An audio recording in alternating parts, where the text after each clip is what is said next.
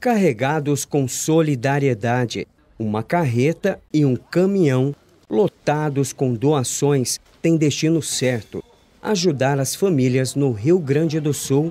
São toneladas de donativos que foram arrecadados pelo governo de Mato Grosso, em Cuiabá e Várzea Grande, uma ação mobilizada pela primeira-dama do Estado, Virgínia Mendes. É um momento difícil que a população do Rio Grande do Sul vem passando, é um evento adverso, situação de emergência, vários, vários óbitos, pessoas feridas, pessoas precisando de ajuda, e é nesse momento que a gente pôde perceber a solidariedade do povo matogrossense, as pessoas se mobilizaram, né?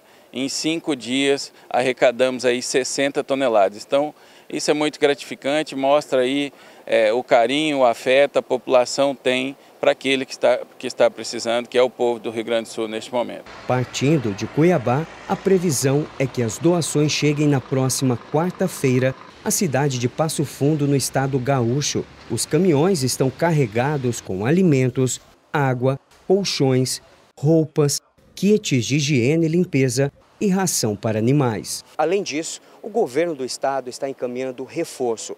Duas equipes da Defesa Civil com seis profissionais irão permanecer no Rio Grande do Sul até o dia 24 de maio. Depois de Passo Fundo, a gente vai deixar esses donativos e vamos partir para Santa Cruz do Sul, onde lá vamos integrar um grupo de várias defesas civis, né, um centro de comando.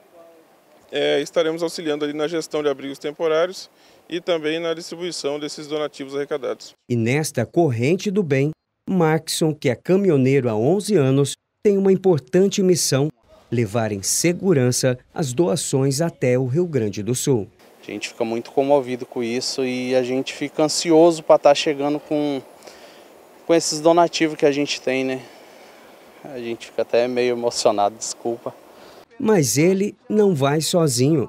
Os 2 mil quilômetros até o destino serão percorridos em família, acompanhado pela esposa e pela filha de apenas dois anos. Graças a Deus, nós, nosso governo, está conseguindo ajudar o pessoal lá. O sentimento é de muita alegria e se Deus quiser vai dar tudo certo. Já já a gente chega lá com esse mantimento pessoal, aliviar, né? Dar uma ajudada boa.